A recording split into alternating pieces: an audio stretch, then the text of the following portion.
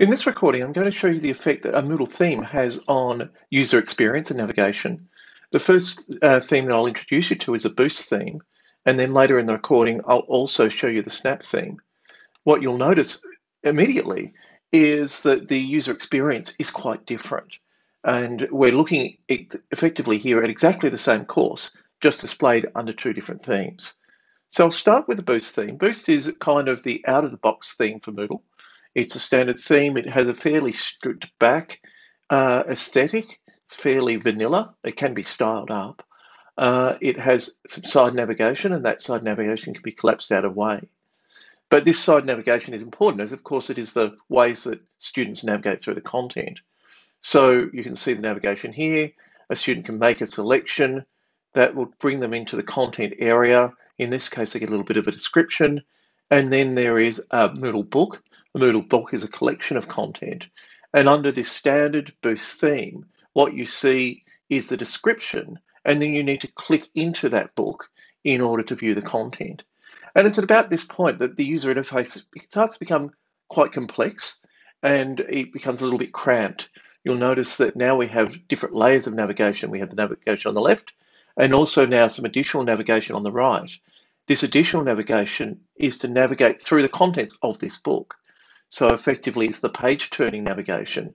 But what that the impact that has on the course design is what space is left over for the content itself is quite cramped. Now, a user can choose to collapse this navigation out of view and they can reclaim some of that screen. But it is worth noting that that user experience, unless the student intervenes, can be quite a complex one. Let me flip over now to the Boost theme. Again, we're dealing with the identical course, but I'll show you the user experience in Boost. So here we are. Again, we have side navigation. Uh, the user experience now, I think, is a much richer one. There is a visual banner. There's a fairly intuitive navigation on the left-hand side. It includes features such as the search feature. It also gives some intelligence to the user as they're navigating through.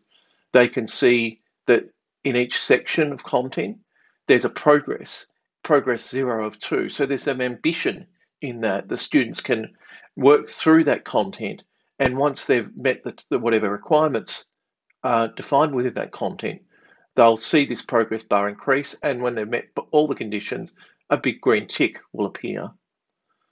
As we navigate into the content itself, this is the same content as you saw previously, but its visual arrangement on screen is different and, to my mind, better.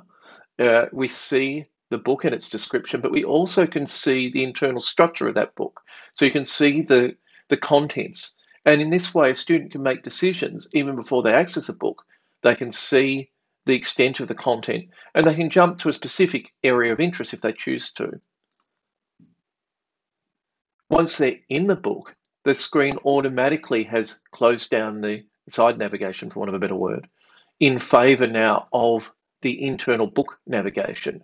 So the use of the user interface is a much more um, considered one and it uses the best available space for the screen. Now that I've shown the user experience from the end user's perspective, from the student's perspective, let's consider it from the developer or designer's perspective. Again, I'll start in Boost.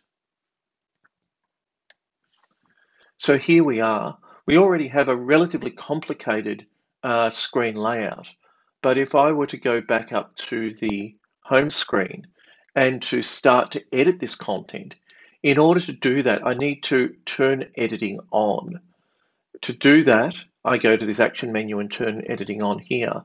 And the moment I do that, my interface changes considerably.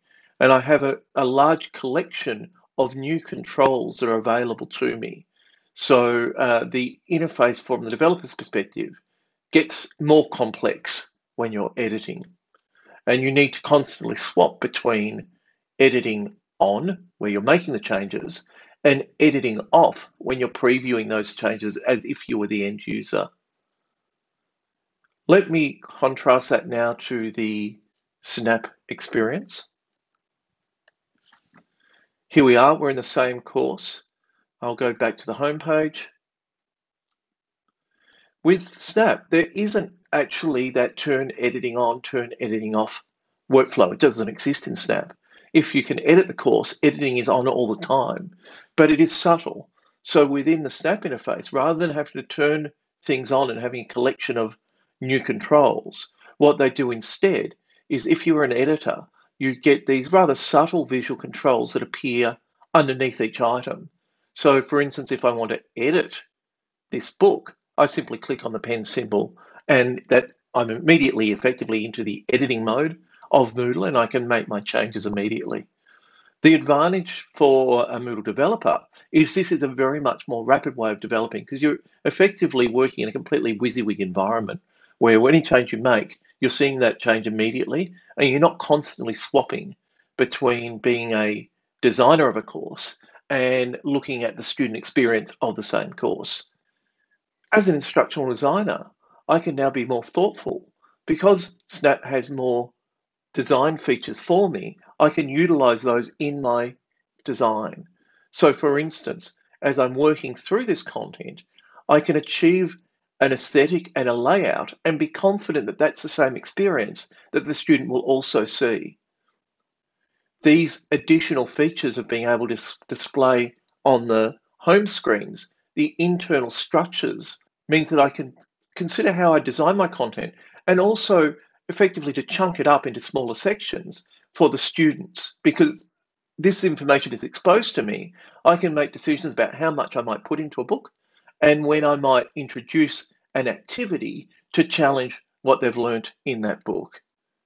And you can see as you go down that eh, you can see a bit of a rhythm when you design with the theme in mind.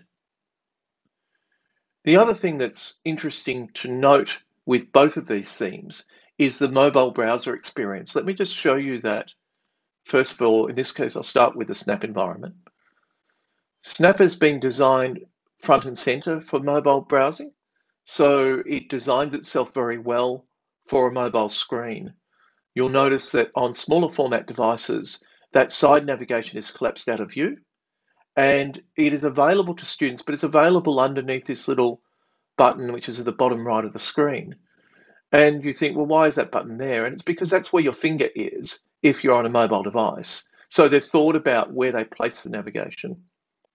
So let me show you that same uh, design now in Boost. Again, it does uh, adapt to the device. You'll notice it's collapsed the navigation down here so that it um, fits well within the screen parameters.